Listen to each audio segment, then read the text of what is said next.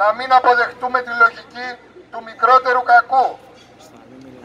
Η πανδημία απέδειξε σε όλο τον κόσμο ότι τα αδιέξοδα του καπιταλισμού κοστίζουν σε ζωές και σε επιδείνωση της ποιότητας της ζωής των εργαζόμενων. Η εργατική τάξη είναι ανάγκη να παλέψει για δημόσιο, καθολικό και δωρεάν σύστημα υγείας,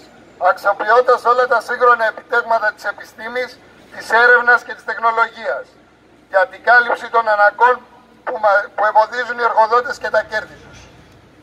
Στον τομέα της υγείας, η κυβέρνηση έγραψε στα παλιά της τα παπούτσια της προτάσεις των υγειονομικών και των συνδικάτων για αποκλειστικά δημόσιο σύστημα υγείας, για κατάργηση κάθε επιχειρηματικής δράσης. Αρνήθηκε την πραγματική επίταξη του ιδιωτικού τομέα της υγείας, όπως και τις προσλήψεις του αναγκαίου ιατρικού νοσηλευτικού προσωπικού, τη δημιουργία των αναγκαίων ΜΕΘ. Το άνοιγμα των νοσοκομείων που είχε κλείσει η κυβέρνηση της Νέας Δημοκρατίας παλαιότερα και του ΣΥΡΙΖΑ. Σήμερα οι εργαζόμενοι μαζί με την έκθεση Πισαρίδη, μαζί και με, τα, με τις PNP και τα άλλα εργατικά νομοσχέδια μέσα σε συνθήκες πανδημίας αντιμετωπίζουν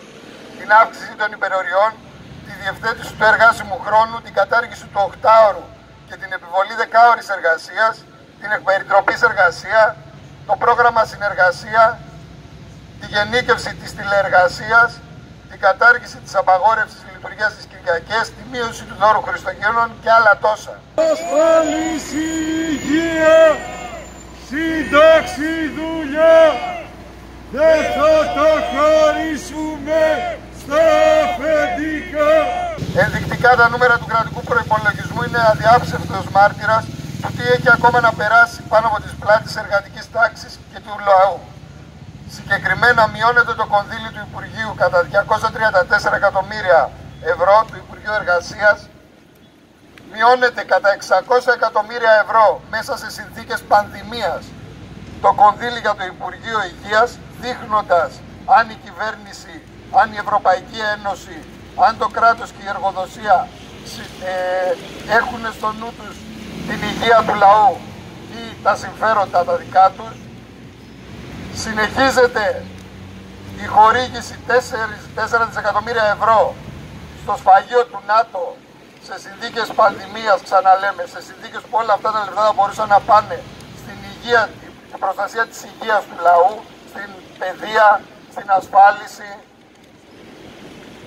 Μέσα σε όλα αυτές τις συνθήκες τα συνδικάτα μας από την πρώτη στιγμή σηκώνουν κεφάλι και τώρα μπροστά στον προϋπολογισμό δηλώνουμε πως εμείς βάζουμε μπροστά τις δικές μας ανάγκες, ιδιαίτερα σε αυτές τις συνθήκες. Είναι πλούσια η παρακαταθήκη της δράσης των σωματείων, ιδιαίτερα το τελευταίο διάστημα με τη ΔΕΘ, με, τις, με τα συλλαλητήρια που γίνανε στις 7 και στις 13 του μήνα, ενάντια και στη Χρυσή Αυγή, με τη σπουδαία συμβολική κινητοποίηση 17 στο Πολυτεχνείο, με τη μεγάλη μας απεργία στις 26 του μήνα. Συνεχίζουμε βάζοντα μπροστά τις δικές μας ανάγκες, διεκδικούμε εδώ και τώρα ο προϋπολογισμός να μην ψηφιστεί, να καταψηφιστεί και διεκδικούμε 751 ευρώ